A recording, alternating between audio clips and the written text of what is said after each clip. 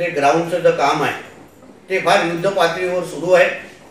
ज्या ग्राउंडची तयारी ते जे काही पिच बनवणार आहोत ते अशा दर्जाचे बनणार आहेत की पुढच्या वर्षीची मुंबई विरुद्ध महाराष्ट्राची मॅच तिथे आम्हाला खेळायला लावायचे किंवा आम्हाला खेळ घेण्याचा आमचा प्रयत्न आहे.